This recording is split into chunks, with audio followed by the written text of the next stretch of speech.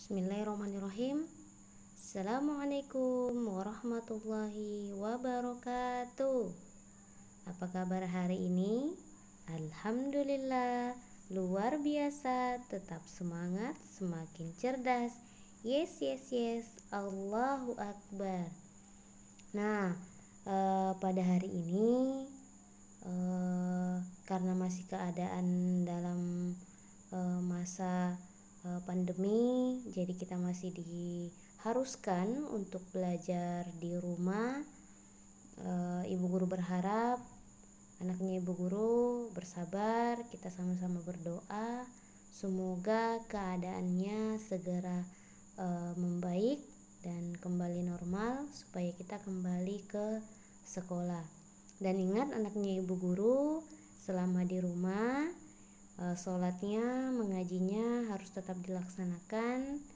Kemudian uh, tetap bersabar belajar online ibu guru akan mendoakan juga supaya uh, kita senantiasa dalam lindungan Allah Subhanahu wa taala. Jadi uh, ketika ibu guru memberikan pembelajaran, anaknya ibu guru uh, diperhatikan secara baik-baik. Uh, oh iya, ibu guru hampir lupa, ibu guru belum mengucapkan minal aidin wal faizin, mohon maaf lahir dan batin. Kita sudah berlibur sudah selama seminggu nah, karena uh, kemarin kita sudah melaksanakan uh, Idul Fitri. Dan alhamdulillah ibu guru melihat uh, laporan uh, kegiatan uh, amalia Ramadannya puasanya sholatnya mengajinya di rumah alhamdulillah ibu guru sangat senang sekali. Karena uh, laporannya banyak yang bagus banyak yang uh, puasanya full banyak yang mengajinya bagus mengajinya rajin kemudian menyotor wafanya juga rajin alhamdulillah.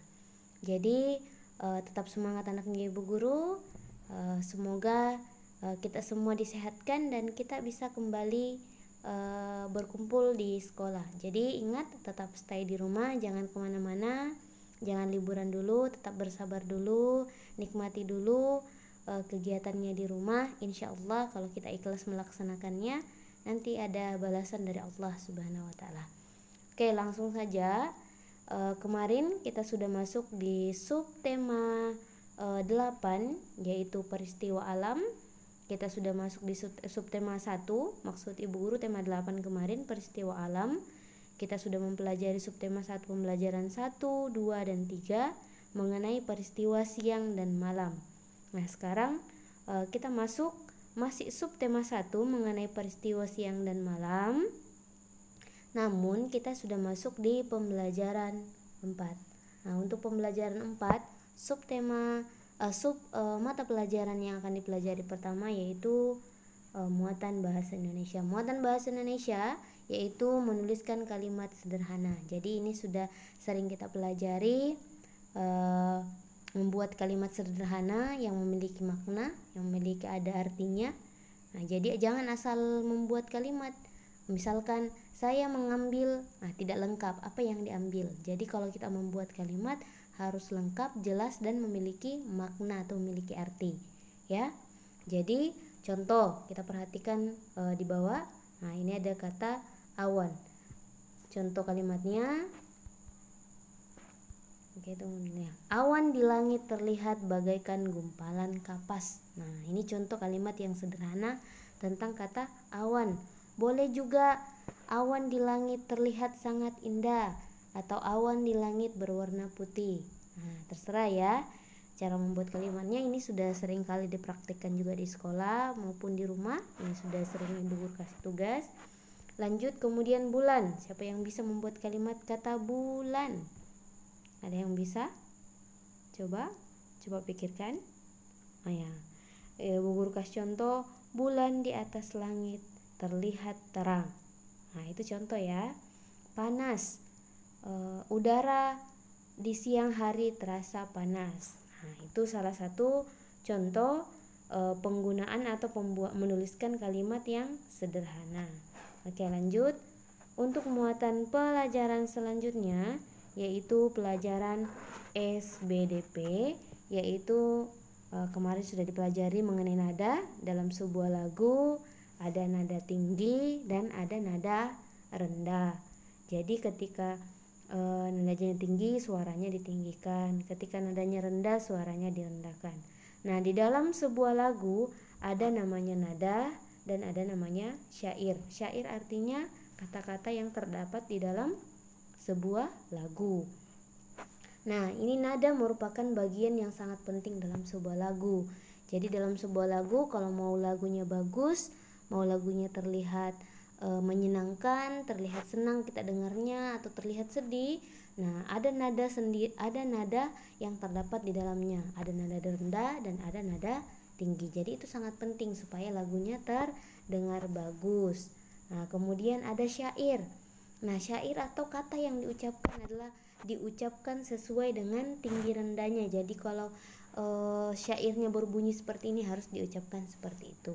Jadi dalam lagu ada nada dan ada syair. Nada berarti ada dua yaitu nada tinggi dan nada rendah. Syair diucapkan sesuai dengan nada. Paham nanya ibu guru ya? Oke, supaya lagunya bagus terdengar, lagunya merdu, jadi kita harus mengikuti nada dan mengucapkan syair sesuai dengan nadanya. Paham ya anaknya Bu Guru ya? Oke, kita lanjut untuk muatan pembelajaran selanjutnya. Namun ke pembelajaran 5 karena pembelajaran 4 e, materinya cukup singkat.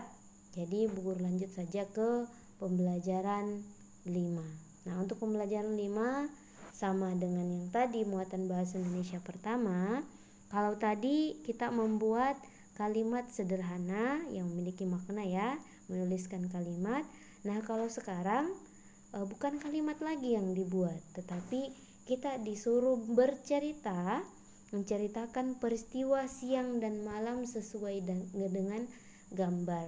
Jadi nanti boleh diperhatikan di buku bupenanya di halaman 111 itu ada gambar. Nanti diperhatikan gambarnya.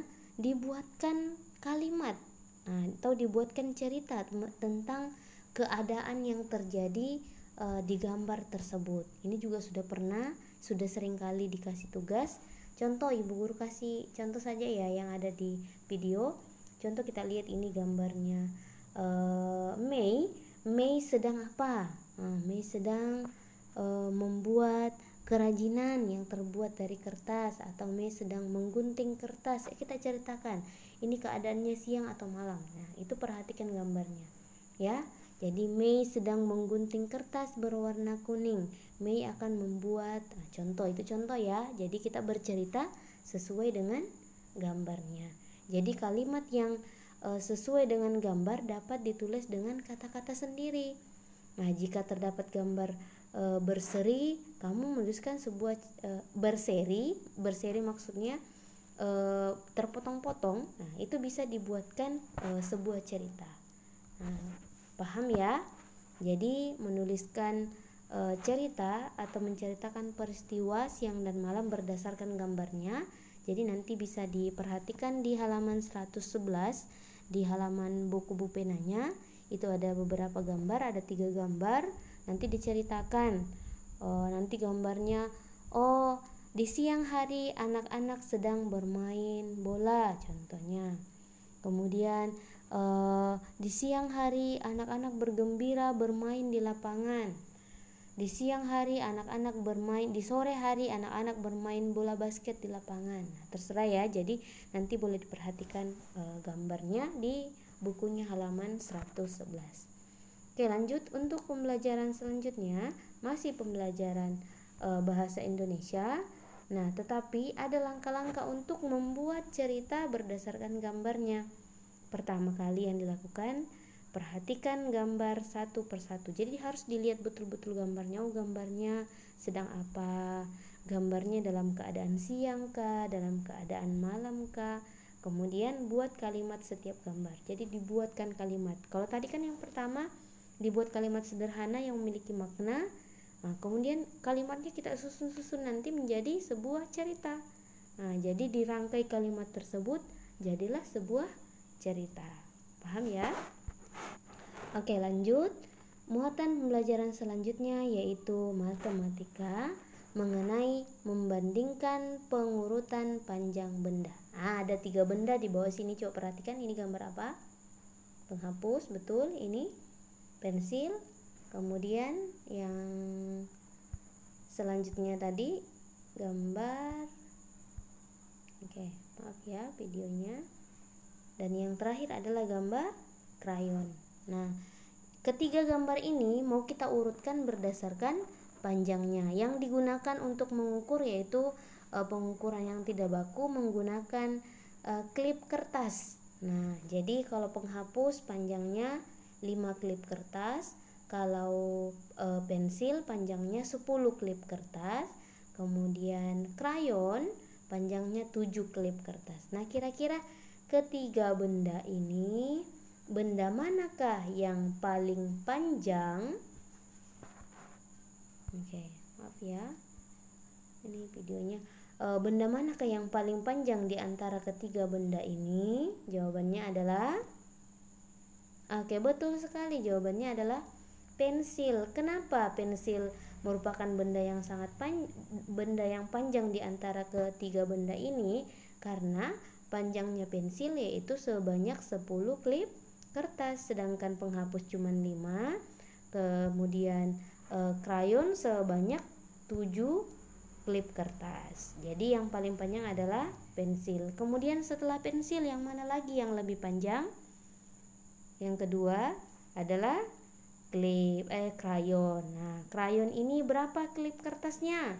7 jadi yang pertama panjang adalah pensil kemudian krayon dan yang terakhir adalah penghapus. Kalau mau disuruh bandingkan, coba diperhatikan.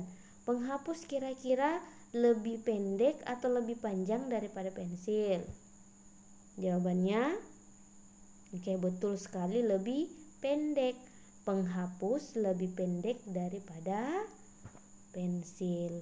Penghapus lebih pendek daripada krayon karena penghapus cuma 5 sedangkan krayon sebanyak 7 nah sekarang. Uh, yang paling pendek kalau tadi dari yang paling panjang dari pensil kemudian krayon dan penghapus. Sekarang yang lebih pendek dari mana dulu? Peng, dari mana? Oke dari penghapus setelah penghapus. Oke krayon setelah krayon pensil. Jadi yang paling pendek penghapus kemudian krayon kemudian pensil. Jadi kalau kita bandingkan lagi, pensil lebih apa daripada krayon? Jawabannya lebih panjang atau lebih pendek? Oke, jawabannya betul, lebih panjang. Jadi pensil lebih panjang daripada krayon. Krayon lebih panjang daripada penghapus. Nah, begitu caranya membuat kalimatnya ya. Contoh kalimat e, matematikanya seperti ini. Penghapus lebih pendek dari krayon Penghapus lebih pendek dari pensil. Krayon lebih pendek dari pensil. Krayon lebih panjang dari penghapus. Pensil lebih panjang dari penghapus. Pensil lebih panjang dari krayon. Tadi sudah Ibu Guru jelaskan. Oke. Jadi urutan benda dari yang terpanjang adalah ini dari dari yang terpanjang tadi dari yang terpanjang pensil, kemudian krayon, kemudian penghapus. Nah, yang gambarnya tadi ya. Jadi dari yang terpanjang pensil, krayon, kemudian penghapus. Kalau dari yang terpendek, penghapus, krayon dan pensil. Jadi sudah paham ya? Oke. Nah, demikianlah pembelajaran kali ini. Semoga bermanfaat. Ibu guru akhiri. Assalamualaikum warahmatullahi wabarakatuh.